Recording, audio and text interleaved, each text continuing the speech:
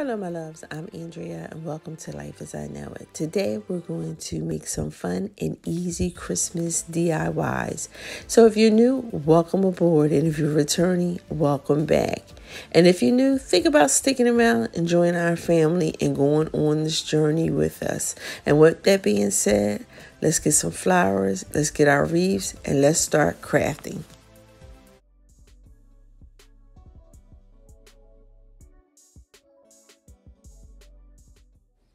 Now we're going to take our netting and we're going to cut it into pieces. You can cut it any length you want.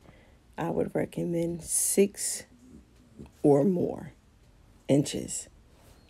Now you can get a cutting tool from the um, dollar store, and I have bought two, and they've just not been worth it. So it's just if you're going to use tubing a lot, then I would definitely invest. Go to Michael's and um, use the 40% off coupon when they have it, or percentage off, or get one from Hobby Lobby. And then we're going to take chenille stems. We're going to cut them in half, and we're going to use that to um, tie our mesh together. So I use two mesh. You can use three. And then all you do is take the chenille stem and wrap it around it a couple times and then put it to side. And that's all we're going to do. We're going to cut up all our mesh, get it all together, and then we're going to go back to the frame. You just scrunch it up just like that. You can put it on a mat or that's it doesn't matter and you just roll it up.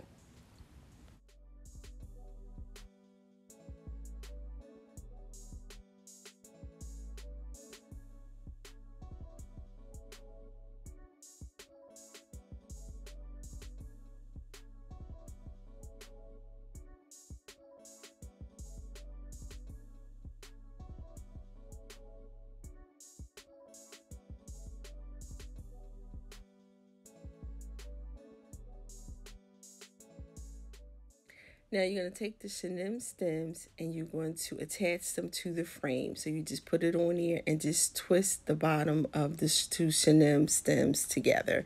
And that's all you're going to do.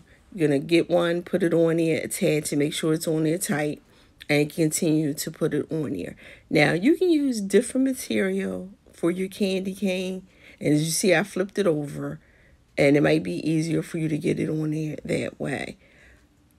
This, we're going to make a skirt for the bottom of the candy cane. So you can use ribbon, but I just figured we'll try something different and see how we like it. So we're going to do this candy cane this way with the bottom of the skirt. And then later on, I'll show you how to do the candy cane with the ribbon. So if it's easy for you to attach it to the front, that's fine. And if not, just flip it over to the back and do it the way I am and just twist it. And we're just going to fill the first two parts of the Candy King sections with the netting.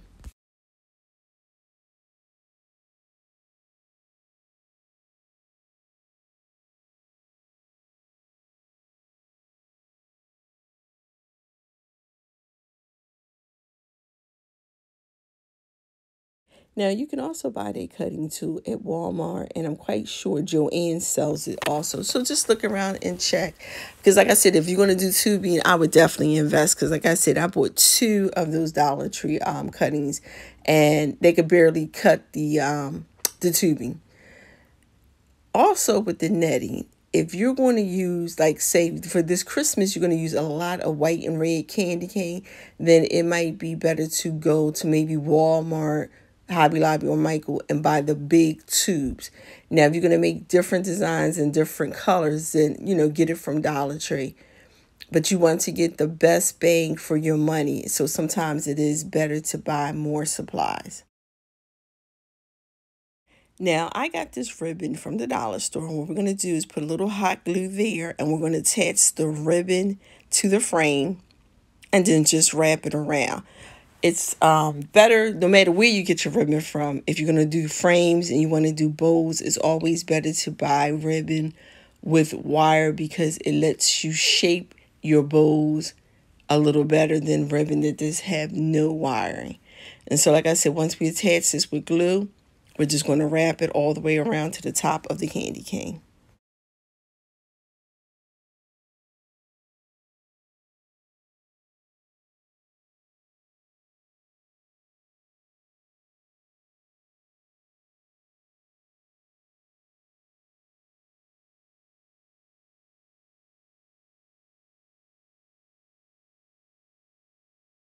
And once we get to the top of the candy cane, what we're going to do is just cut the ribbon and glue it to the back of the frame. And we're going to put it aside and go ahead and work on our bow.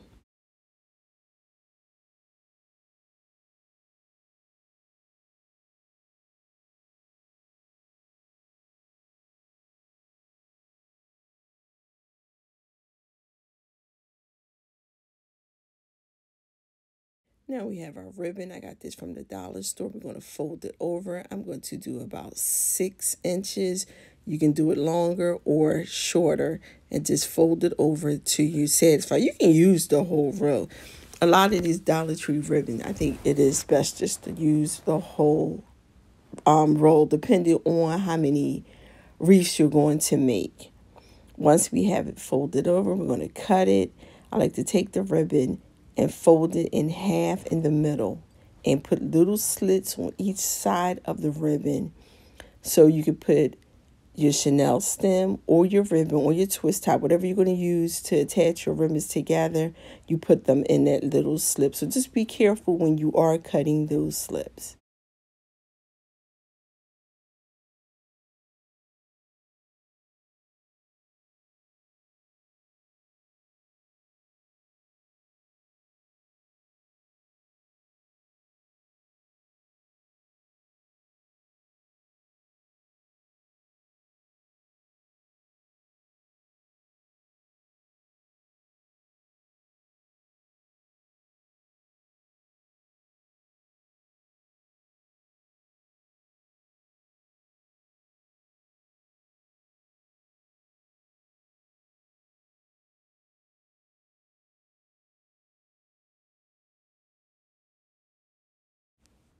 And once we have all our ribbon together, we're going to place them on top. And then, like I said, we're going to take a chenille stem and wrap it around and tie it. And this way, we're going to use that same chenille stem to attach it to our frame. Once you have it tight around the ribbon, I do it twice, tie a little knot, and then we start fluffing out our ribbon.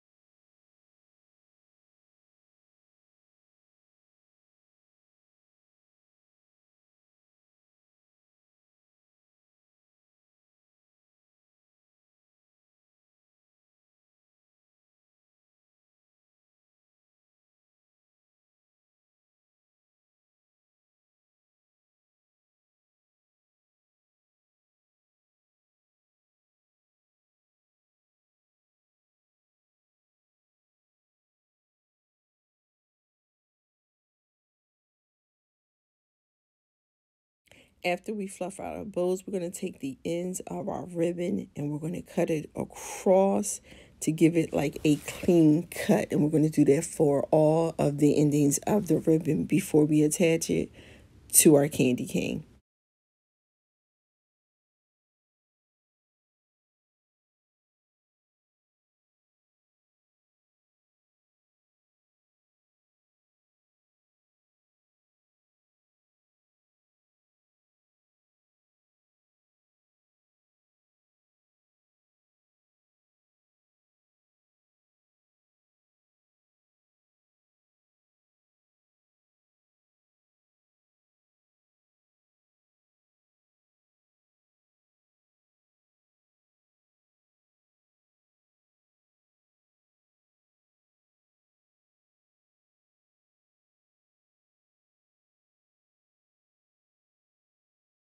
You're going to take the chenille stem and you're going to wrap it around the candy cane. Um, once you wrap it, if you're not satisfied and you think it may come off, you can always just attach a little hot glue. But once we have our bowl on top of the candy cane, we're going to fluff it out and then we are done with this DIY.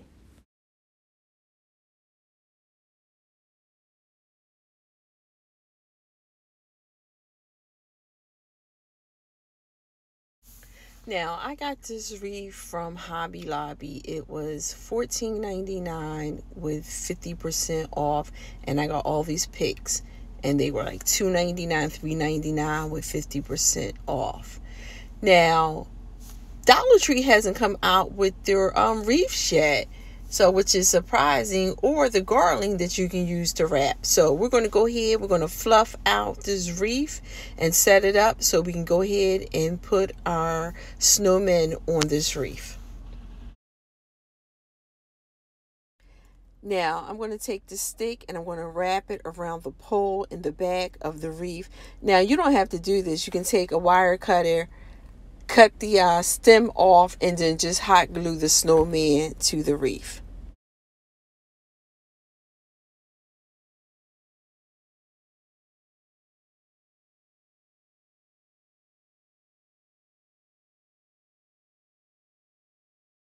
So I end up taking the stem off and just adding a little hot glue to the back and just laying it down on top of the wreath.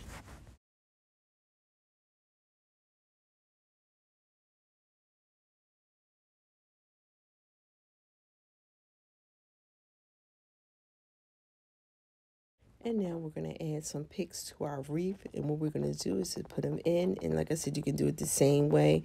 Take the stem of the pick and wrap it around the frame or on the back part of it, of the bottom of the pick. You can just add some hot glue. Whatever works easier for you. Because like I said, sometimes they wrap around with no problem.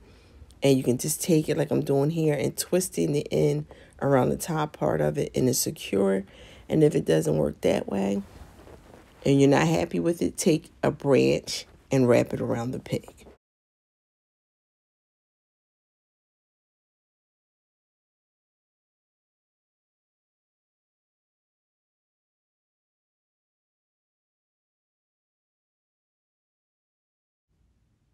And now what I'm going to do is take some mesh and I'm going to use the branch and I'm going to just add the red and white candy stripe mesh to the sides of the reef.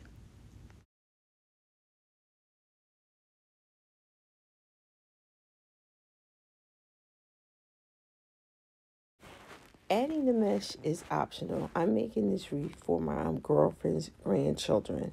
Now you can make your loops as big as you want or as small. But what I'm going to do is I'm going to do the outside and then I'm going to come back and do the inside with the mesh until all the mesh is gone.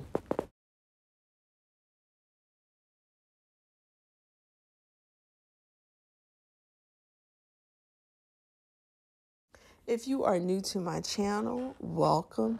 I would love it if you stuck around by joining our family.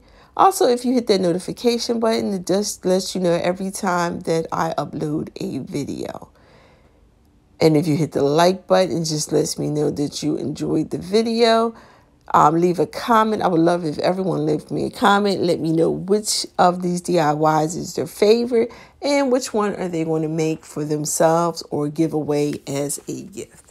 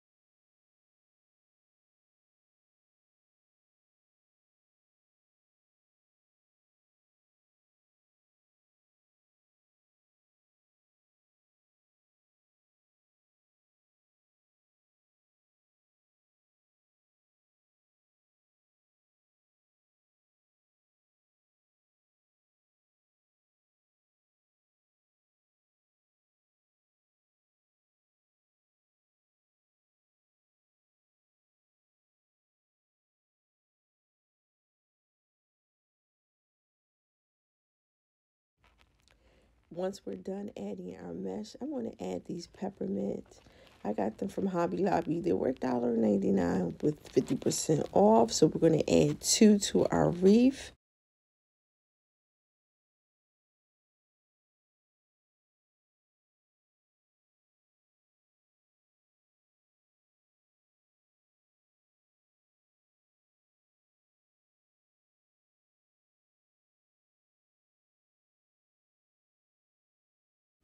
Now I also got this um, pick from Hobby Lobby. It was $2.99, 50% off. I'm going to cut the lollipops off the stem and I'm going to give each snowman a lollipop. We're just going to add a little hot glue to the snowman's hand and wrap it around the stem of the lollipop. And once we have all three lollipops in, we're done with this DIY.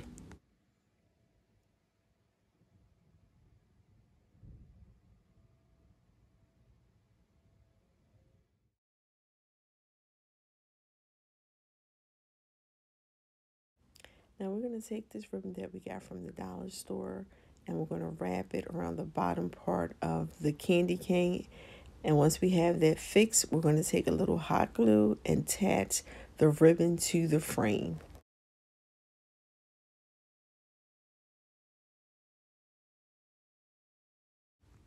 And once you have your ribbon secure, you're going to take it and wrap it around the ribbon that you already have on here one time, but you're going to pull it tight. And then from there on, add a little glue. And we're just going to keep doing the same thing. We're going to pull it. Now, you don't have to use hot glue all the way through. So just go a couple times, add a little glue, go a couple more times. But make sure as you're adding the glue and that you're wrapping it, that you're pulling the ribbon tight around the frame.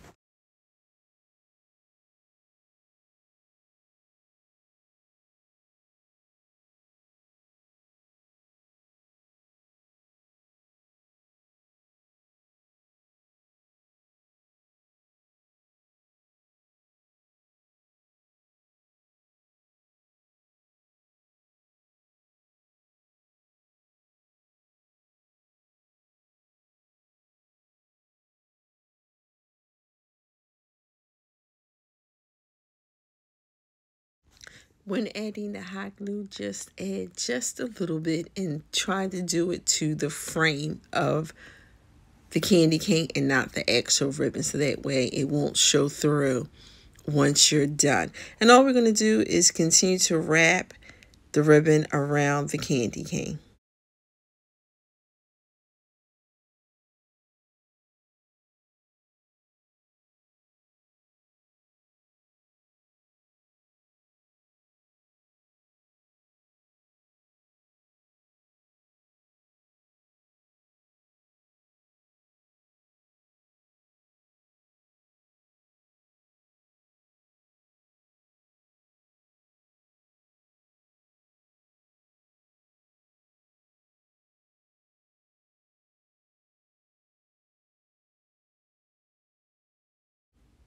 Now, when you get to the top of the candy cane, just a little glue, pull it around really tight, and we're going to make sure the frame is covered, and then we're just going to cut it and glue it to the back of the candy cane.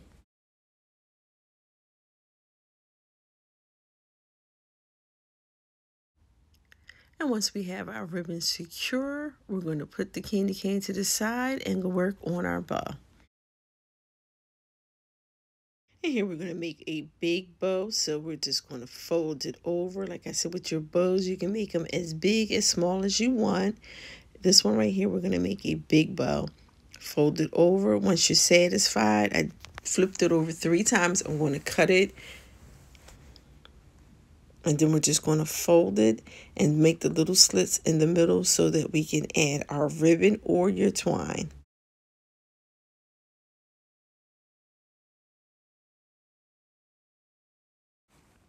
We're going to take the twine and put it right in between those two little cuts. And then we're just going to tie a knot. And we're going to do it twice. And then we're going to start fluffing out our bow.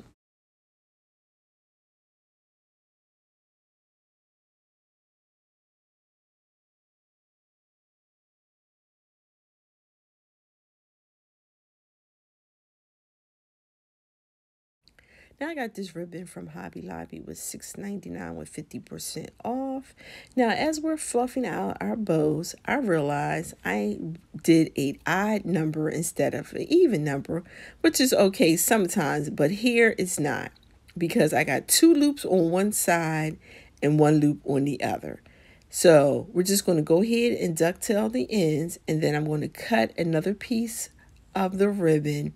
I'm going to fold it in half and yes, we're going to glue it inside of the other bow. And once the glue's settled, we're just going to go ahead and puff it out and no one will know the difference.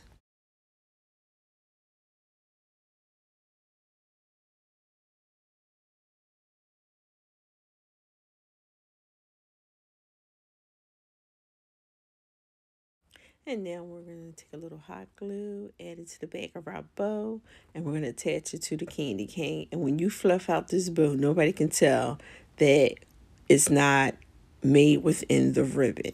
Now, if you don't want to do that, you can just go ahead and retake the ribbon out and redo it and make your bow smaller. Now, once I have this attached, I decided, you know what? let's add a bell. So I got one of the bells from the dollar store and we're going to add it on to top of the bow. Now I did add a little piece of greenery around the top of the bow so it could help me secure the bell to the wreath. Now you don't have to do that, but it did help. I'm also going to brush a little white paint across the greenery to give it this snow effect you can do this or just leave the greenery as is. But like I said, that little piece of greenery did help the bell stick to the ribbon.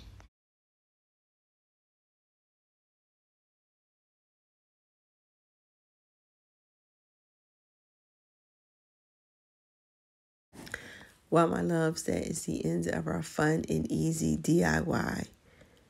If you're new, welcome aboard.